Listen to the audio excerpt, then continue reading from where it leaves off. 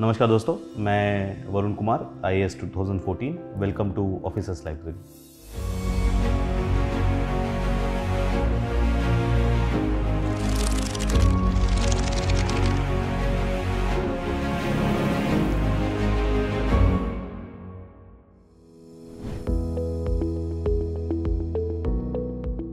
three mistakes of my life by Chetan Bhagat वो पहली किताब थी जो मैंने मेरे ख्याल से सेकंड ईयर ऑफ़ इंजीनियरिंग में पढ़ी थी।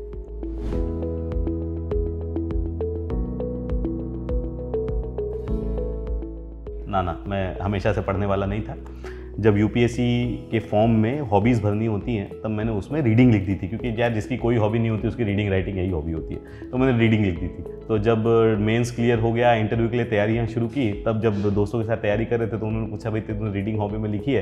तूने लास्ट बुक कौन सी पढ़ी तो मैंने बोला, यही लक्ष्मीकांत, सत्यजीत वही यही सारी किताबें पढ़ी हैं। तो बोला, भाई, ऐसे नहीं होता, तुमको रीडिंग मतलब थोड़ा पढ़ना पड़ता है। तो उसके बाद फिर मैंने ये नॉवेल्स अपनी लाइब्रेरी से लेके पढ़ना शुरू की। तो उससे पहले मैं बहुत ज़्यादा सीरियस रीडर नहीं था। वो चेतन भगत की जो बुक मैंने सेकेंड ईयर में पढ़ी थी, उसके बाद सेकेंड बुक मैंने सीधा मेंस क्लियर होने के बाद पढ़ी।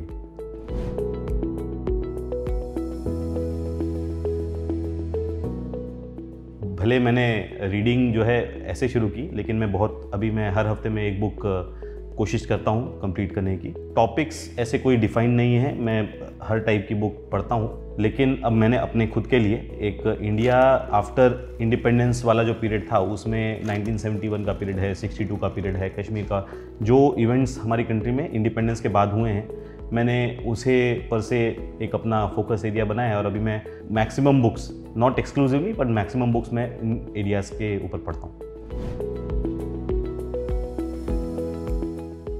मैं मैन सर्च फॉर मीनिंग एक विक्टर फ्रैंकल द्वारा लिखित एक बुक है, जो कि मेरी ऑल टाइम फेवरेट है।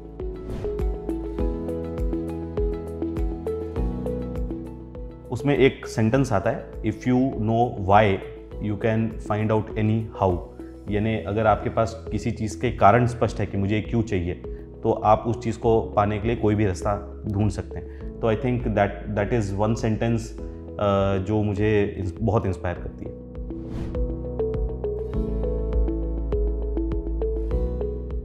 मैंने अभी रिसेंटली चंद्रगुप्ता दासगुप्ता की एक एक बुक है India and the Bangladesh liberation war जैसे कि मैंने बताया कि मैं अभी पोस्ट इंडिपेंडेंस इंडिया के ऊपर काफ़ी रीडिंग कर रहा हूँ। मैंने वो शुरू की और अभी मैं इस समय एक स्किन इन द गेम नाम की बुक है, जो निकोलस तलेब ने लिखी हुई है नसीम तलेब ने। मैं इस समय वो पढ़ रहा हूँ जस्ट आउट ऑफ़ इंटरेस्ट उसमें अब वो कोई कोट जैसी बुक तो नहीं है, वो हिस्ट्री की बुक है। उसमें कई सारे ऐसे किस्से हैं जो मुझे पहले पता नहीं थे। हमारी हिस्ट्री के कई सारे ऐसे एस्पेक्ट्स हैं जो आज भी काफ़ी इवेंट्स को डिक्टेट कर रहे हैं। तो उसमें भी कई सारे ऐसे किस्से हैं जिस जिस, जो बहुत ज़्यादा क्लियर हुए।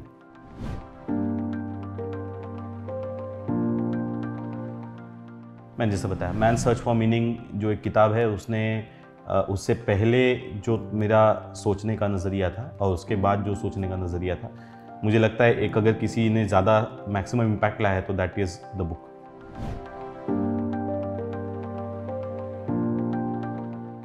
अगर आप स्ट्रिक्टली बाय सिलेबस जाते हैं, अगर आप स्ट्रिक्टली बाय स्टैंडर्ड बुक्स जाते हैं तो आप में और बाकी जो तीन लाख लोग हैं, उसमें कोई डिफरेंस नहीं है। अगर आपको कोई एक एक्स फैक्टर लाना है अपने थॉट्स में कोई चेंज लाना है तो आपको रेगुलर सिलेबस से आगे जाकर, भले उससे रिलेवेंट रिलेटेड हो, लेकिन उससे आगे जाकर कुछ चीज़ों को पढ़ना चाहिए। वो आपके आंसर्स में एक निखार लेके आएगी। आपके सोच में आप किस जिस तरह प्रॉब्लम्स को अप्रोच करते हैं, उसके अंदर एक निखार लेके आएगी। तो ऑफकोर्स प्रायोरिटी है कि आप अपने सिलेबस पे ध्यान दें, उसको प्रायोरिटाइज करें। लेकिन अगर आप कर सकते हैं तो आपको थोड़ी एक्स्ट्रा रीडिंग करके अपने अंदर वो एक डिफ्रेंशिएटर ऐड करना चाहिए। अगेन क्योंकि मैं उस बुक से इतना प्रभावित हूँ, मैं फिर से वही रेकमेंड करूँगा। मैन सर्च फॉर मीनिंग एक बुक है, क्योंकि जैसे हम चैलेंजेस की बात करते हैं कि यूपीएससी में बहुत सारे डिस्ट्रैक्शंस आते हैं, आपके पर्सनल चैलेंजेस आते हैं तो आप किसी भी चैलेंज को किस तरह से ओवरकम कर सकते हैं? आपके दिमाग में क्या चीज़ की क्लैरिटी होनी चाहिए? आई थिंक वो एक चीज़ अगर एक यू पी को पता है तो जो एक डेढ़ साल, दो साल की तैयारी में जो भी चैलेंजेस आएँगे, उसको ओवरकम करने में उन्हें काफ़ी मदद रहेगी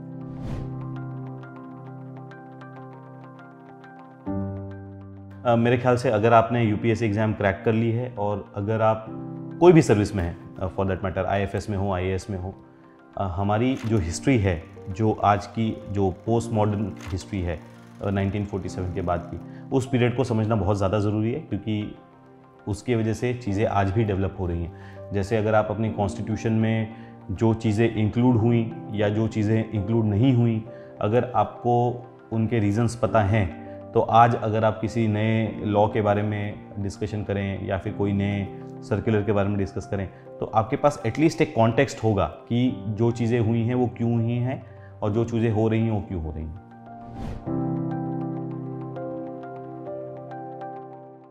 अभी जैसे मैंने बताया, मैं एक स्किन इन द गेम एक किताब है जो मैं पढ़ रहा हूँ। मैंने एक हिमालयन द फ्रैक्चर्ड हिमालय जो एक निरुपमा राव ने लिखी है। मैंने वो बुक मंगा के रखी है।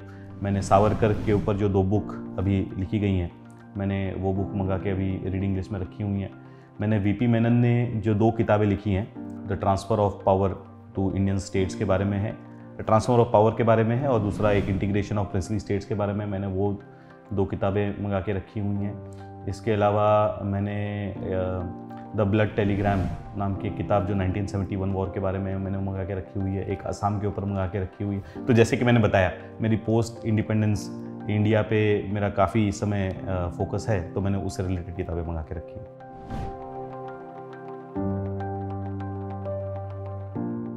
आई थिंक आप बहुत ज़्यादा सीरियसली मत लीजिए प्रोसेस को। It is only an exam अगर आप आप प्रोसेस के थ्रू अगर आप निकलते हैं, आप कल चाहे जो भी करें आपके पास एक एज होगा बाकी सबके ऊपर। एग्ज़ाम की प्रिपरेशन के पीरियड में आप एक खुद को एक ऑनेस्ट सेल्फ असेसमेंट कर लें और आप ये समझ लें कि अगर आपने ऑनेस्टली तैयारी की है, एक ऑनेस्ट सेल्फ असेसमेंट किया है, आपने एक ऑनेस्ट तैयारी की है तो एग्ज़ाम में आप सेलेक्ट हो जाएँगे। ठीक है, आपको बहुत ज़्यादा चिंता करने की ज़रूरत नहीं पड़ेगी।